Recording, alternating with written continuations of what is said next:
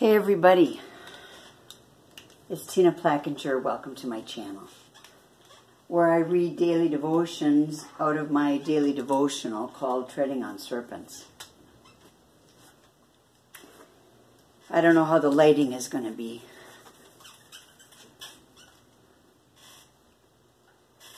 But it doesn't matter as long as I get the message out. Today is a short and sweet one.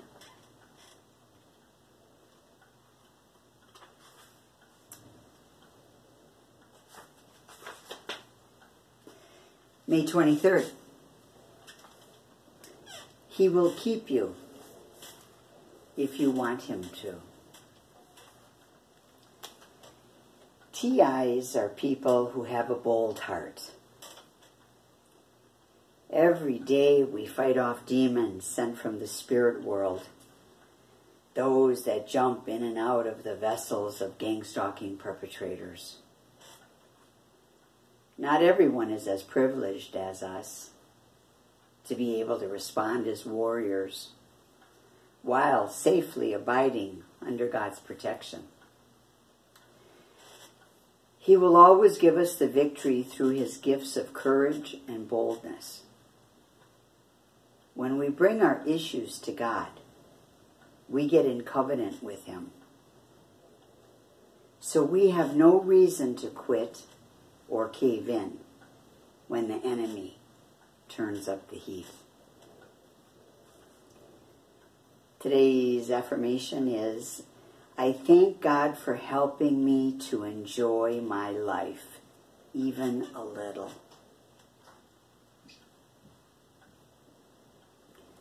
TIs are people who have a bold heart, targeted individuals, targeted souls.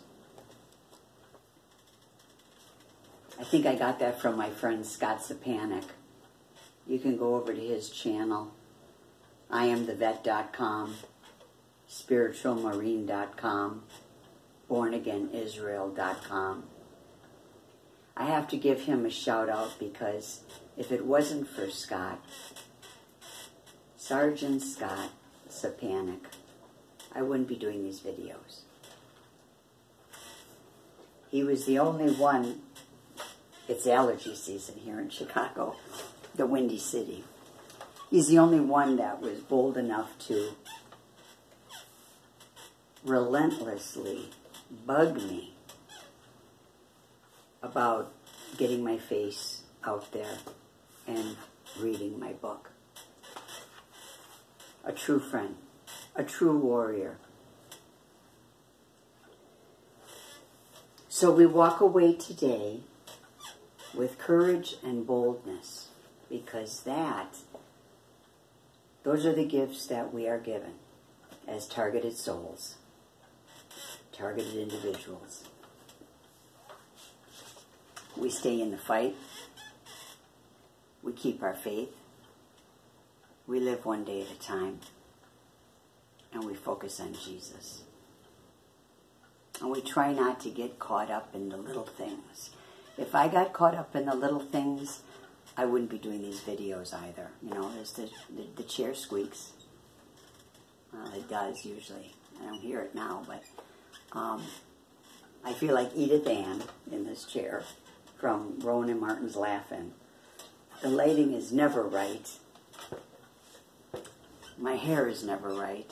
I never have the right clothes. All that stuff.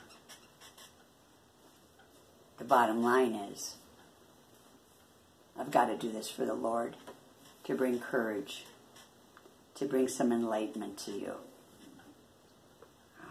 Encouragement, to bring encouragement through God's courage and His messages. Thank you for joining me and putting up with my imperfections. Together we can do this thing. I'll see you soon.